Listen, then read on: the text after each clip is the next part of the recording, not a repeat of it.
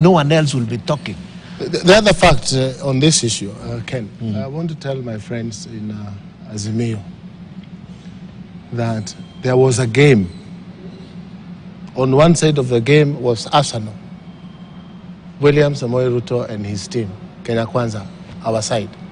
And there was the other side, Raila Odinga, Azimio, and them. They went to penalties. Whether it was by hand of God or whatever, they lost the game. My friend, that game is done. There is nothing else to do about that election. There is nothing that can be done within our laws. Uh, uh, when they need to understand that uh, uh, William Ruto beat them in the game. It was a simple game.